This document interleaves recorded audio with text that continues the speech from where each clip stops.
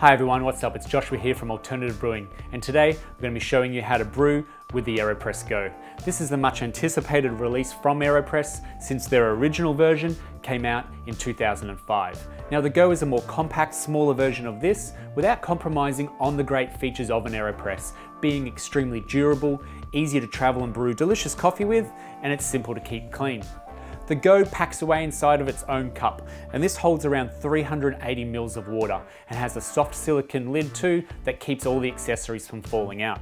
We have a bean scoop, a foldable stirrer, and a paper filter holder. And this will fit around 20 or so paper filters in it, ready for when you go traveling. With this, there are also 350 micro paper filters included in the box.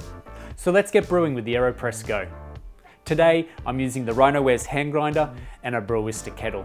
And I've got my water set for 94 degrees C, but that's about 30 seconds off the boil. First up, what you want to do is grab your bean scoop, and we're going for 16 grams of coffee, which is about level with the top of the bean scoop here.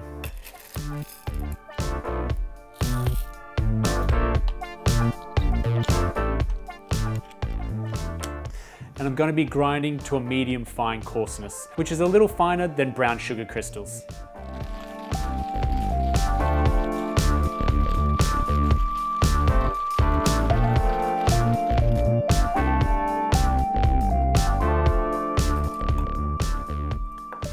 Now there are two methods to be brewing with the AeroPress.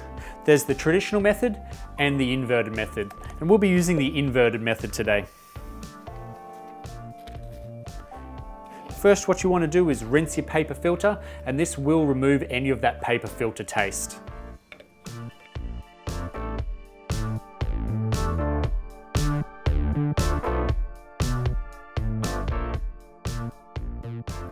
Then add your grinds into the chamber.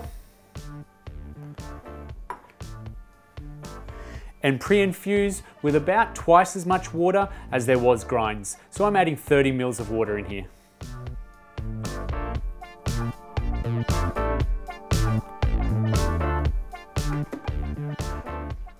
We'll give it a gentle agitation and let it sit for about 30 seconds. Now the reason we pre-infuse is to ensure that all those grounds are fully saturated before we add all the rest of our water in. And once that 30 seconds is up, fill your AeroPress all the way up to the top, and this will give you around 220 mils of water for a brew ratio of 1 to 14.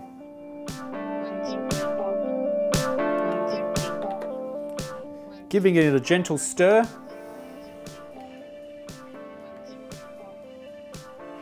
We'll then place the filter cap on and let it brew for one minute.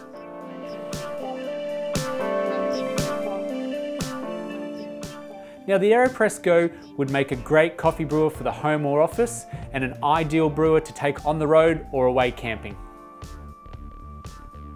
After that minute is up, you just want to press down on the brew chamber and remove any of that air that's stuck inside the brew chamber. That way when we do flip, we don't have any grinds high and dry on the press. And when pressing, it should take about 30 seconds to complete the full press for a brew time of 2 minutes to 2 minutes 30.